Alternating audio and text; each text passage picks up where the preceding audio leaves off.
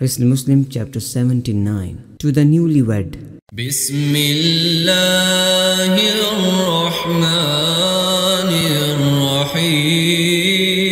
الرحيم بارك الله لك وبارك عليك وجمع بينكما في خير